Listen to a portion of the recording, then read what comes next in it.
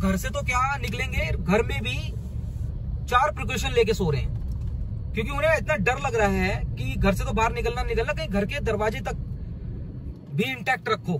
कहीं दरवाजे तोड़ के ना ले जाए। क्योंकि मैनेटर एक ऐसी चीज़ है मैनेटर कंसेप्ट जब आ जाता है ना तो बहुत ही खतरनाक हो जाता है।